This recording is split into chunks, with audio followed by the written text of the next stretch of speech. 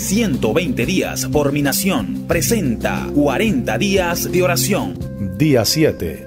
Es un privilegio tener un Padre Celestial omnipotente, todopoderoso.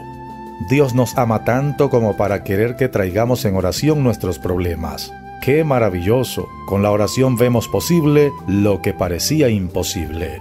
Dios, escucha la oración de cada venezolano que clama a ti día y noche en favor de nuestra tierra. Y para mi Venezuela, victoria.